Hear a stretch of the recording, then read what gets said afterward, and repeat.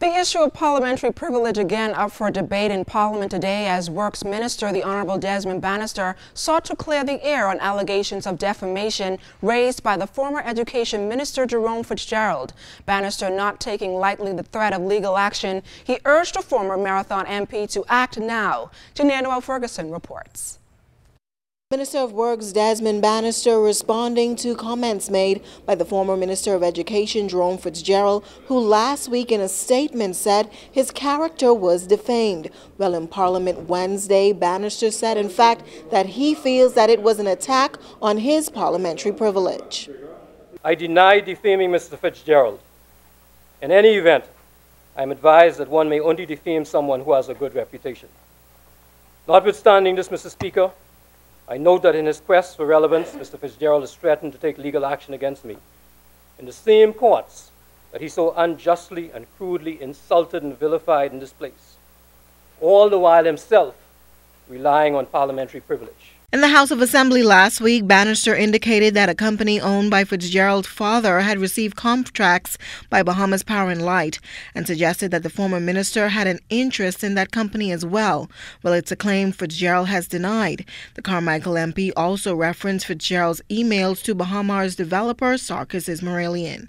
I remind Mr. Fitzgerald that the courts will wish to know why he used the pronoun we in his email to Mr. Izmirlian when he solicited business from a company, for a company that he now says he has no interest in. At that time, his refrain was we. Now it is not me.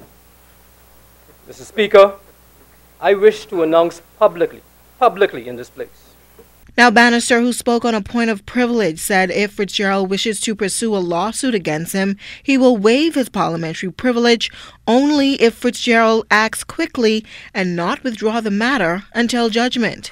Second undertaking is that Mr. Fitzgerald will agree to pay me any damages or costs that the court determines ought to be paid to me within 30 days of the judgment. I find this condition necessary, sir, because I'm reliably informed that in the year and a half since the Supreme Court issued its ruling against him, Mr. Fitzgerald has not paid the $150,000 fine.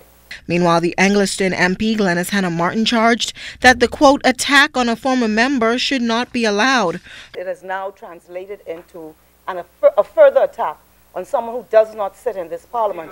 Speak, there's no ah. point of order on my point of order. Sit ah, down. Oh, oh, Speaker? Oh, Speaker, no. honorable member. Speaker. Honorable member. Yes, Mr. Speaker the presiding officers and judge. That's what I was just trying to make the point earlier, Mr. Speaker. Now, honorable member, if I hear from you again in a disrespectful manner to this chair, I will name you and suspend you.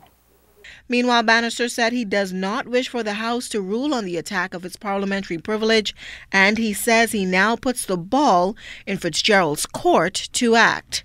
Janae Noel Ferguson, ZNS Network News.